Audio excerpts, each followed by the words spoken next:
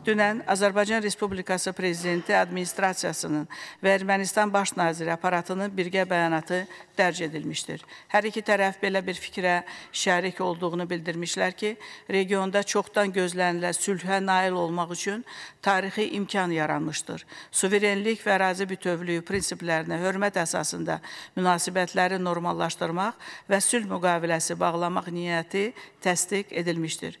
Bəyanatda sülh sazişini yaxınlaşdıran bir sıra addımlar nəzərdə də tutulmuşdur. Hesab edirəm ki, bu addımların davamını biz yaxın zamanda müşahidə edəcəyik.